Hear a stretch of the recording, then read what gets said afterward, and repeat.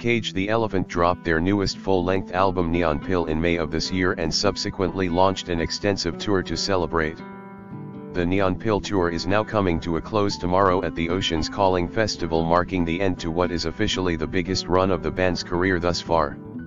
The band sold over 440,000 tickets and grossed over $25 million across the 47-date jaunt marking a high point for the indie veterans.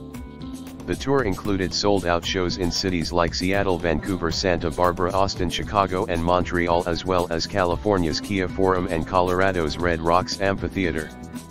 Cage the Elephant hasn't yet announced any plans for shows in 2025 but with numbers like that it wouldn't be surprising to see another leg or two from them. You can pick up a copy of Neon Pill here or stream it via Apple Music. Also revisit our conversation with Cage the Elephant's Matt and Brad Shultz where the two discussed neon pill mental health and more backstage at Bonnaroo 2024. It's close to home so to just be able to share it with our family and friends.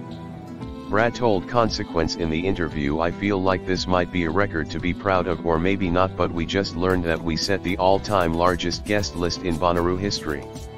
I guess when you sell more than 440,000 tickets you have a little wiggle room to give a couple away.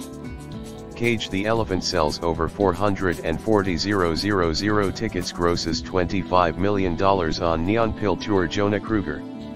The post Cage the Elephant sells over 440,000 tickets grosses $25 million on Neon Pill Tour appeared first on Consequence.